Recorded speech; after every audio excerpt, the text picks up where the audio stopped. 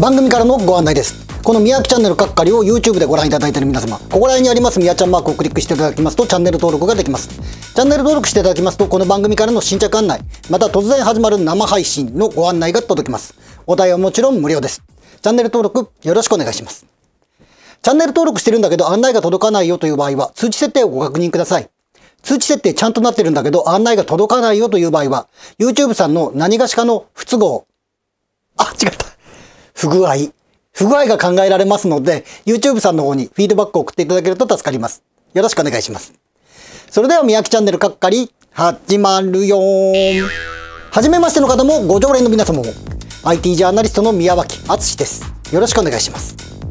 TBS のお昼のワイドショー、昼帯にて、新型コロコロニュータイプが始まる前の定期便のようなネタといえば、お天気いじりでした。主に気象予報士の森明さんの予測が外れると、司会を務めるお笑いコンビ本邪魔家のめぐみとしあきさんが、ああだこうだと責任追及をする一種のコント、コントでした。他愛のないじゃれ合いといえばそれまでですが、天気予報というのは当たるも発見、当たらぬも発見というのが私の立場です。もちろん昭和時代よりその予測の精度が上がってる気もしますが、お天道様のご機嫌をズバリ言うわよと当てるためには、係数があまりにも多く、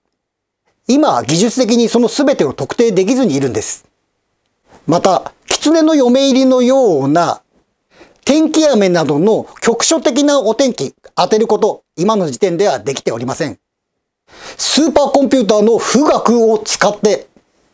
あらゆる気象情報を集めに集めまくって予測を出せば、明日の天気は当たるかもしれませんが、その予測が出るのが明後日だったら全くもって意味がなくなります。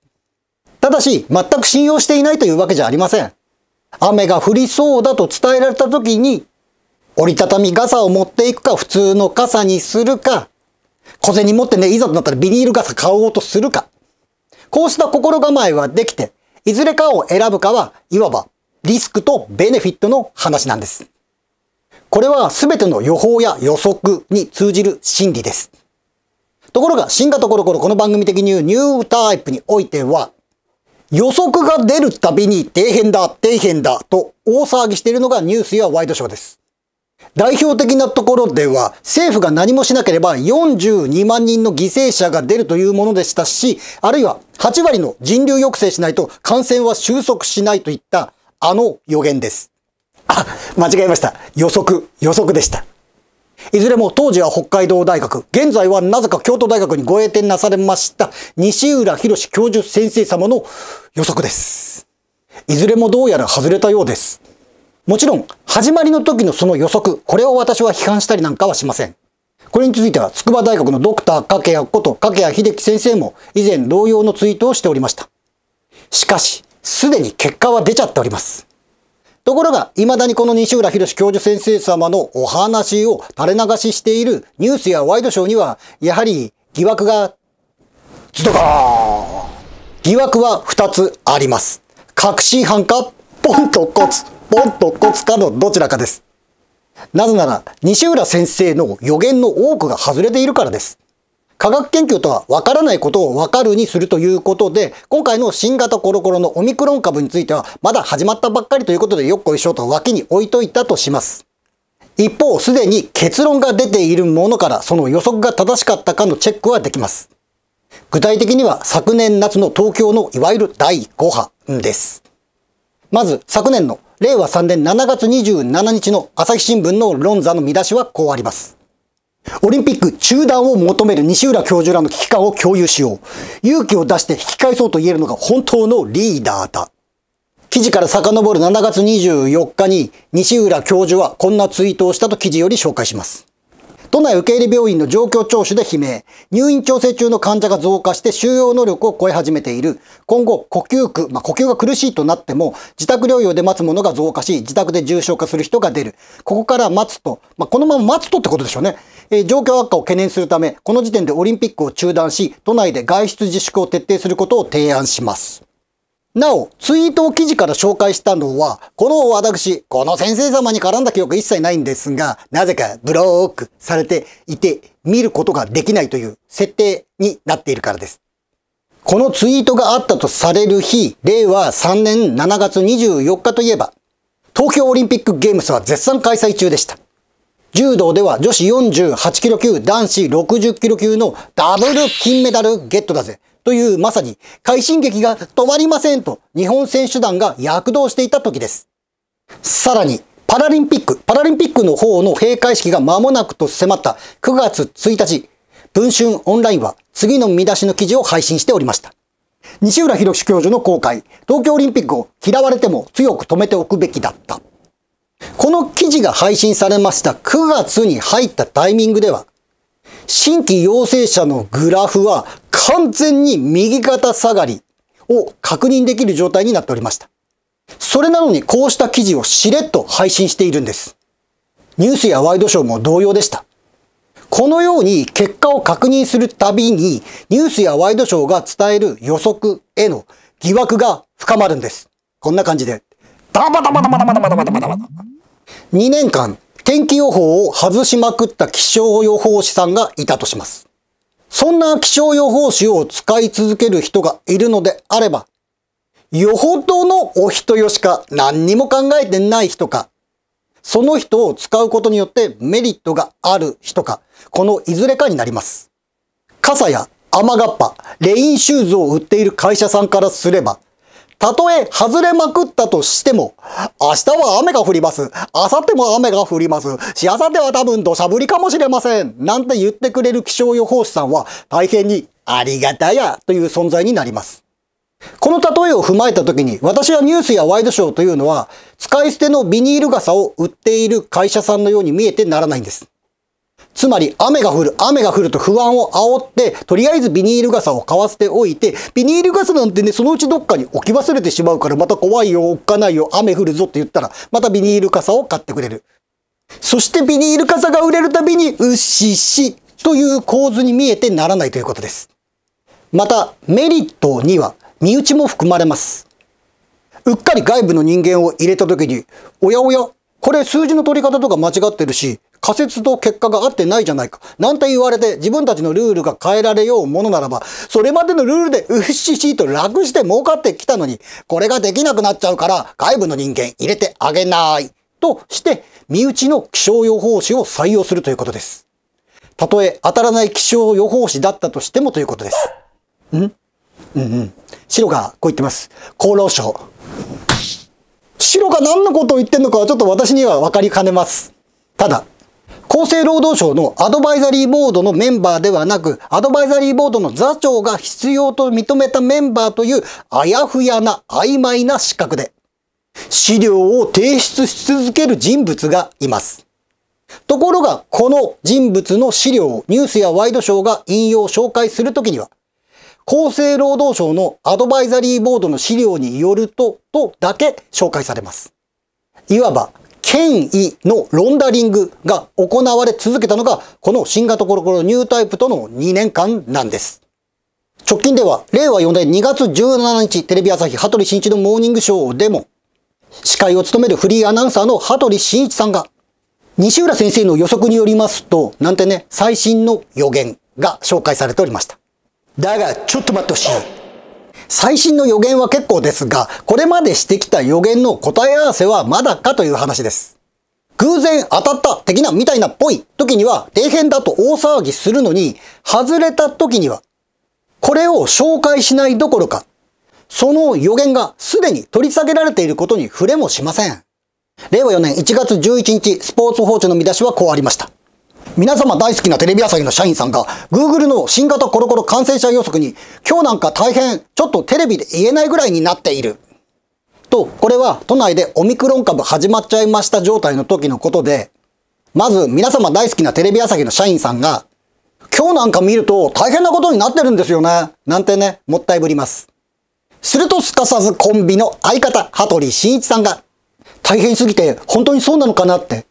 だから言いづらいなって社員さんが思うぐらいの数字が前から出ていたわけなんですよね。と、まさに、よいしょと、愛の手を入れておりました。皆様大好きなテレビ朝日の社員さんがもったいぶった数字というのは、Google 先生の AI 予測です。その予測で、ここではちょっとテレビでは言いづらい、とんでもない数字が出ていたということです。さて、この話が1月11日のことなので、もう1ヶ月以上の時が経過しましたので、結果を見てみます。Google 先生に尋ねて、その感染予測サイトにトコトコトコって言ってみると、その予測が、なかった、なかった、なぜだ？のでした。正しくはサイト自体はありまして、今年の2月10日に予測データの更新を終了しています。つまり予測をやめちゃっていたんです。そして残されていたこちらの予言を見てみます。全国的にも新規陽性者の減少傾向が確認された2月に入ってからもリニアに直線に増え続けております。そしてな、なんと3月に入ると30万人を超えるようです。この Google 先生の予測は昨日今日始まったものではありません。ニュースやワイドショーで紹介され始めてから足掛け2年の月日が流れております。ところが Google 先生が予測をやめたことを報じるニュースやワイドショー、私は確認しておりません。だから、やはり疑惑が、チェタカーン。すでに2年前となります、令和2年11月22日、テレビ朝日サンデーステーションが、Google 先生の感染予測を紹介しておりました。テレビ朝日のサイトはこう切り出します。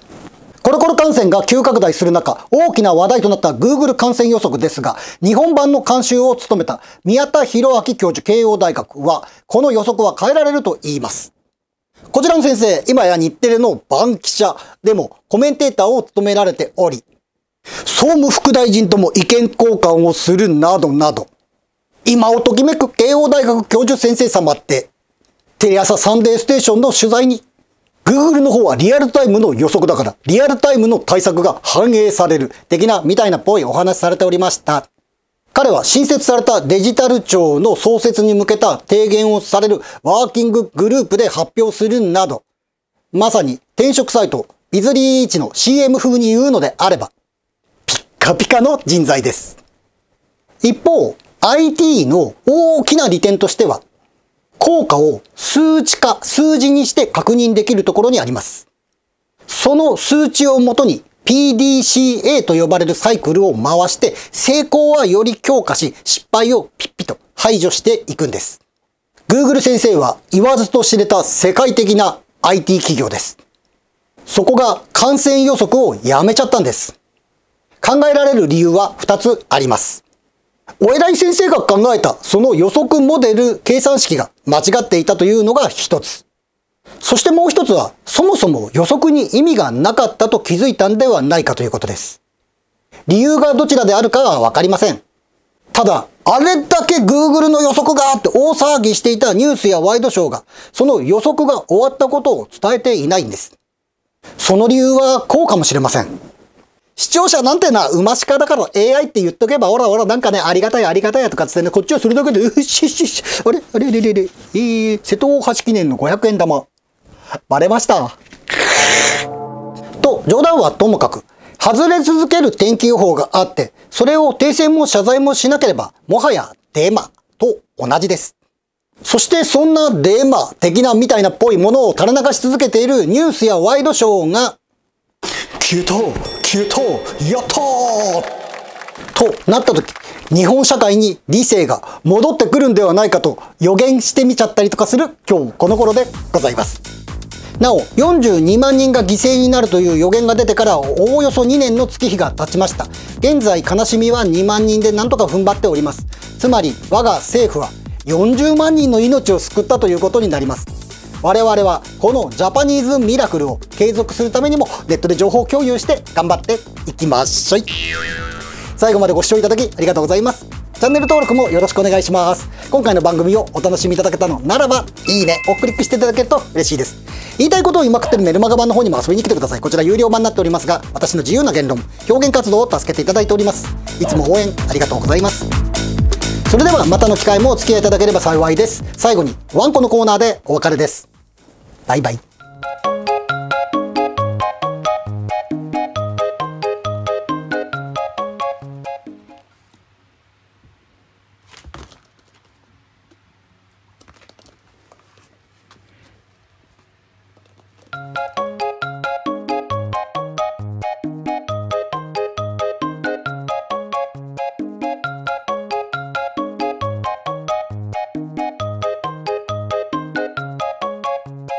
海中外交安倍晋三完全勝利説という物語なのにモルゲストよって答えたんですがモルゲストよかって紹介した赤が勝ち羽生くんすごい宇野くんすごい日本別にすごくない。だってあなたに会えたから。と番組は最後の最後までご覧いただいた皆さん突然ですがじゃんけんタイムみやちゃんじゃんけんじゃんけんグー。私がグーなのでパーを出したあなた。お祝いのハイタッチ。おめでとうございます。私と同じグーを出したあなた違いますね。一緒にグータッチ。そしてチョキを出したあなた。チョキタッチはありませんがいつも心は V サインそれでは本当のバイバイ。